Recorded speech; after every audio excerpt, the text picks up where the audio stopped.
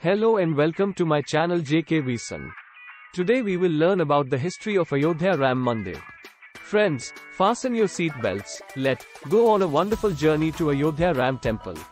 The Ram Mandir is a Hindu temple that is under construction in Ayodhya, Uttar Pradesh, India. It is located at the site of Ram Janmabhoomi, the hypothesized birthplace of Rama, a principal deity of Hinduism. The site is the former location of the Babri Masjid which was built after the demolition an existing temple. In 2019, the Supreme Court of India delivered an unanimous verdict to give the disputed land to Hindus for a temple of Ram, while Muslims would be given land elsewhere to construct a mosque.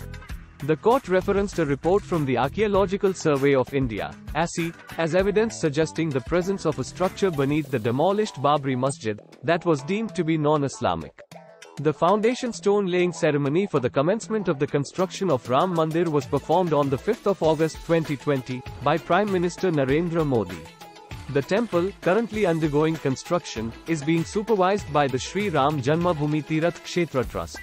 The Pran Pratishtha, Transal consecration ceremony of Ram Lalla, the infant form of Rama in the Sanctum Sanctorum, Garbhagriha, along with the inauguration of the temple, is set to be done on the 22nd of January 2024.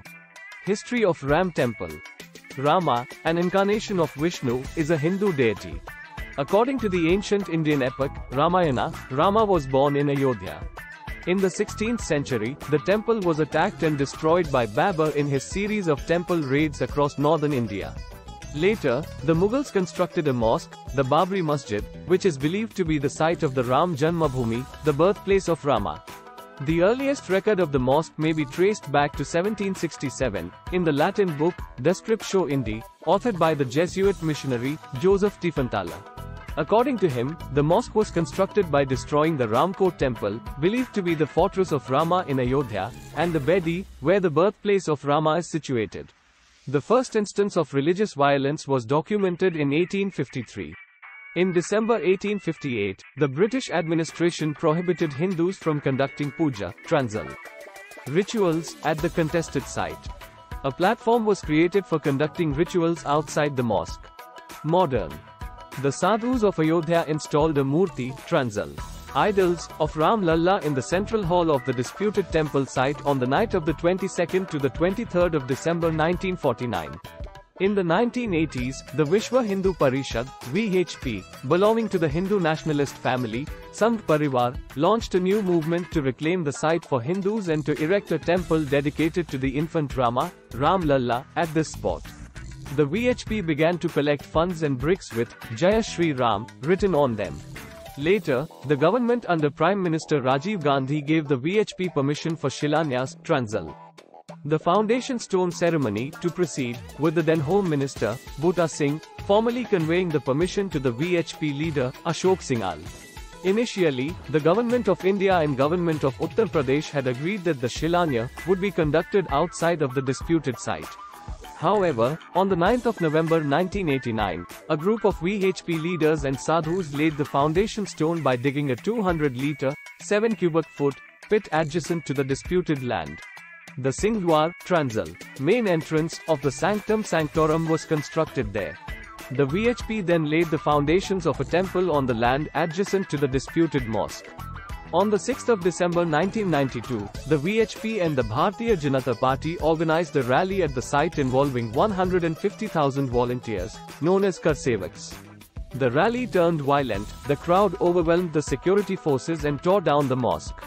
The demolition of the mosque resulted in several months of intercommunal violence between India's Hindu and Muslim communities, causing the death of an estimated 2,000 people in Bombay, now Mumbai, as a direct consequence, and triggering riots all over the Indian subcontinent. A day after the demolition of the mosque, on the 7th of December 1992, the New York Times reported that over 30 Hindu temples across Pakistan were attacked, some set on fire, and one was demolished. Hindu temples in Bangladesh were also attacked. On the 5th of July 2005, five terrorists attacked the makeshift Ram temple at the site of the destroyed Babri Masjid in Ayodhya.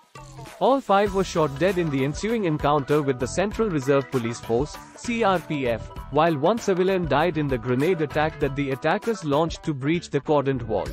The CRPF suffered three casualties, two of whom were seriously injured with multiple gunshot wounds. Two archaeological excavations in 1978 and 2003 conducted by the Archaeological Survey of India, ASI, found evidence indicating that the Hindu temple's remains existed on the site. Archaeologist K.K. Muhammad accused several left-leaning historians of undermining the findings. Over the years, various title and legal disputes took place, such as the passage of the acquisition of certain area at Ayodhya Act in 1993. It was only after the Supreme Court's verdict on the Ayodhya dispute in 2019 that it was decided that the disputed land would be handed over to a trust formed by the Government of India for the construction of a Ram temple. The trust was eventually formed under the name of the Sri Ram Janmabhoomi Tirath Kshetra. On the 5th of February 2020, it was announced in the Parliament of India that the government under Prime Minister Narendra Modi had accepted a plan to construct the temple. Two days later, on the 7th of February, 5 acres of land were allocated for a new mosque to be built 22 kilometers, 14 miles away from Ayodhya in Dhanipur village. Thanks for watching the video please subscribe, like and share. For more information about Ram Temple, stay connected with us for part 2.